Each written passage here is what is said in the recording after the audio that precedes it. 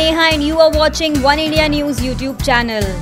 Australia's spin bowling coach Sridharan Sriram revealed how left arm orthodox spinner Steve O'Keefe changed his approach during lunch break on the second day of the first cricket test against India in Pune.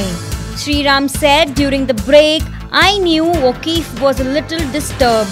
He said, I think I need to have a ball with you in the center. He said that O'Keefe was a little nervous to start because he was in his comfort zone and trying to bowl as he would do in Australia. But I asked him, What do you think you need to do on this wicket?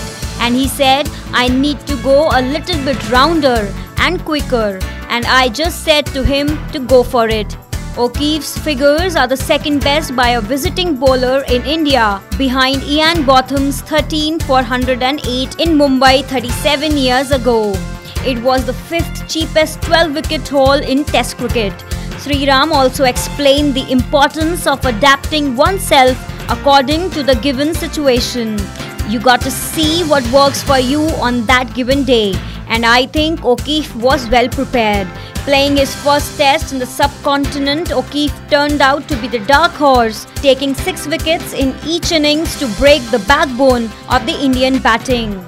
Well, that's all in this video. Thanks for watching. For more updates on India and Australia Test Series and other cricket stories, please keep coming back to One India News YouTube channel and also do not forget to subscribe us.